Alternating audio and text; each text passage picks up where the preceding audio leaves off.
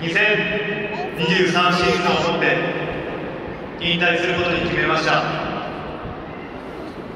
人前で話すのが苦手なので今とても緊張しています。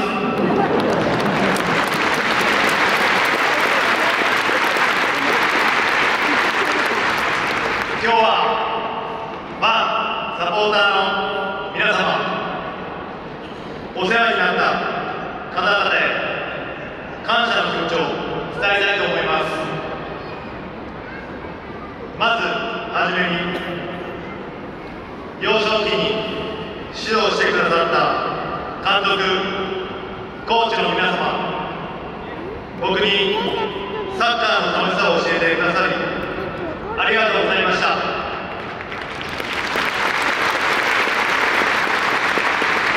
その楽しい気持ちあったからこそ苦しい時辛い時を乗り乗り越えることができました。高校時代はものすごく練習がきつかったです。けどその3年間は得るものが多く基礎の大切さ走り切るための体力勝つことの喜び礼儀を大切にすることをたくさん教えていただきました。それが今も僕の基盤になっています。大学時代はこんな僕が教員免許を取り4年生の時はキャプテンもしていました。それ以降キャプテンマークを巻いたのは去年のトレーニングマッチのみでした。いい思い出になりました。ありがとうございます。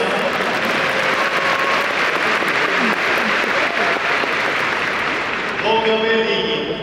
に入団してからすぐプロの厳しさを目の当たりにしましたみんなが甘すぎて試合に出られずに現役生活が終わるかもと考えたこともありました。その時にアドバイスをくれたり励ましてくれた先輩同期の皆さんありがとう。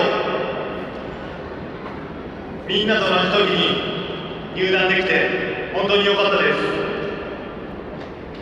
川崎フロンターレ徳島ボルティスでは生活環境の変わる中でチームメイト家族スタッフの皆さんにたくさん支えていただきました。このチームに行かなければできなかったであろう素晴らしい経験をさせていただき感謝の気持ちでいっぱいです。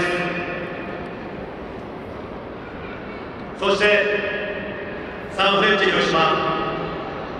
プロ生活の中でリーグ優勝カップ戦のタイトルを取る喜びを味わえることができたのも監督コーチスタッフトレーナーの皆さんが一生懸命サポートしてくださったからこそだと思っています。普段表に出ることのないスタッフの皆さんも選手同様プロであり一緒に仕事ができたことを誇りに思っています。本当にありがとうございました。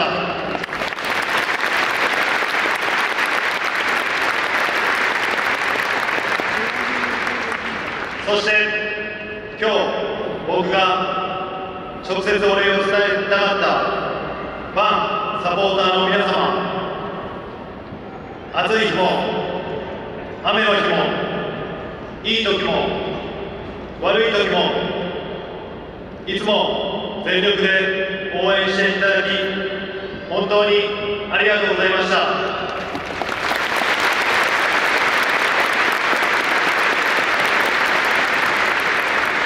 皆さんが思っている以上に応援や声援選手たちのパワーになっています。僕も何度も助けていただきました。僕がサンフレッチェ来てからの10年間たくさんの勝利を一緒に味わうことができて嬉しかったです。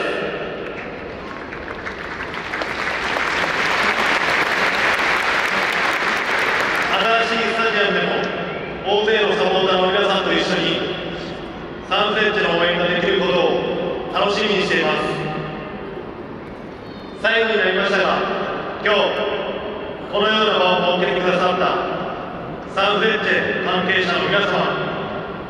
いつもサポートしてくださっているスポンサーの皆様どんな時でも明るい家族今まで僕に関わってくださった全ての皆様本当にありがとうございました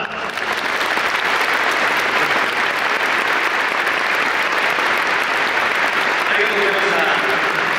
えそれでは続いてチームスタッフを代表して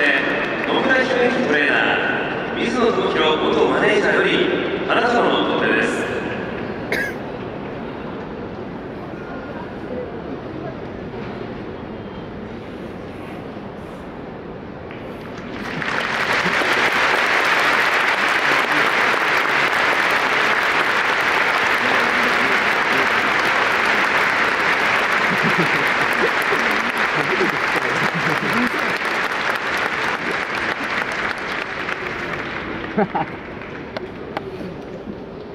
えー続いて共に戦った選手たちを代表して佐々木翔選手柏義美選手よりあなたの